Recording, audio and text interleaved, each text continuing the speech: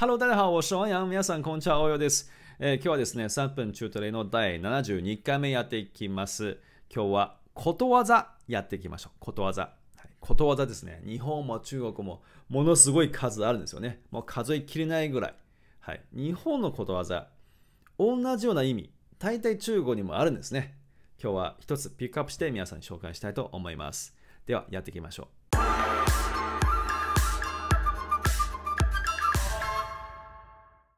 はい、3分中トレの第72回目ですね。今日はこれやります。腐ってもたい。腐ってもたい。はい、今日の目次はこういう感じですね。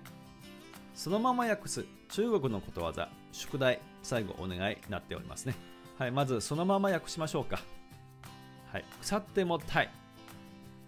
手も、手も、何ですかこれ結構ね、大事な言葉です。はい、手もは接続詞ですね。接続詞は分かる方言ってください。どうぞ。うん。はい。即使ですね。即使。ピンは下に書いてあります。参考にしたい方は見てください。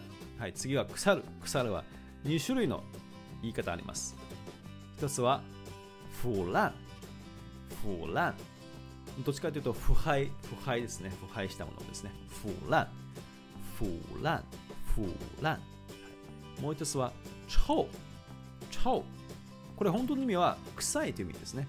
でも腐るでも言えます。臭。臭。腐乱はちょっと固め、文章に使う言葉ですね。臭は話す言葉です。はい。腐乱、臭。腐乱、臭。OK。じゃあ次、タイ。タイは何て言いますか？タイ。タイは、钓魚と言います。钓魚钓魚钓魚钓魚钓魚 OK つまり腐ってもたいの中国語は何て言うんですか？どうぞ。どうかな？はい。回答お見せしますね。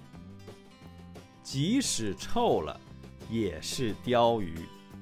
即使臭了也是钓魚。はい、皆さんどうですか？合ってます？はい、まだ終わっていないですよ。これはあくまでもこのまま日本語にしたものですね。これからは同じような意味の中国のことわざです。はい、中国のことわざはこちらです。瘦死的骆驼比马大。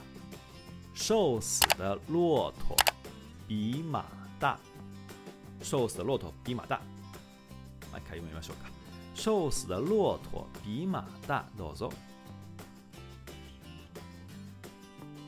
瘦死的骆驼比马大。OK、じゃあ意味見てみましょう。まず、瘦死的。瘦死的。これは瘦と死両方入ってますね。つまり、痩せすぎて死んだ。痩せすぎて死んでしまったんですね。瘦死的。胖死的。だったら、太すぎて死んでしまった。はい、瘦死的、パンス的、パンスとは書いてないけど。次は、ロート。ロートは皆さん知ってますよね。発音似てます。日本語のあれと。Yes。ラクダですね。ラクダ。ラクダはロート。ロート。この2番目の驼は軽声ですね。骆驼。骆驼。OK。次。B。B。B は何詞ですか？Yes、前置詞ですね。中国語だと介詞と言います。B の意味は何々と比べて何々と比較するという意味ですね。B、B。はい、次、まあ。まあは知ってますよね。まあ、馬って意味ですね。馬。これは馬の簡体字ですね。まあ、まあ、まあまあまあまあのまあですね。OK。次、だ。だは簡単ですね。大きいですね。だ。た、はい、つまり OK、えー、つまり痩せて死んだラクダでも馬よりは大きい。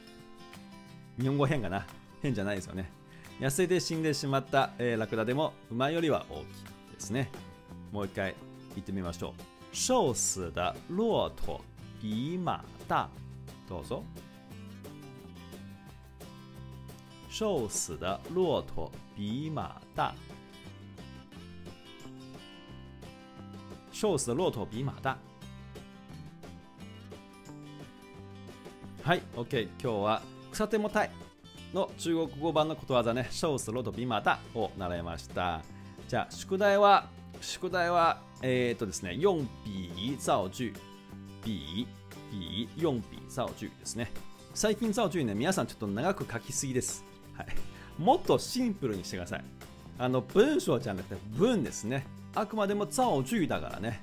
写文章じゃないですね。造句、センテンスですね。もっと短く、もっとシンプルにしてください。でも極端にしちゃダメですよ。OK?OK?、OK? はい、最後お願いですね。チャンネル登録、いいね、シェア。よければメンバーシップも登録してください。